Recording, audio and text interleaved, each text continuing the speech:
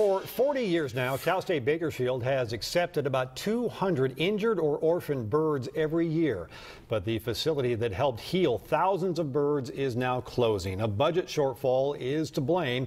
FACT, or the Facility for Animal Care and Treatment Center, will still host its annual barbecue for the birds and open house. It's coming up on October 4th.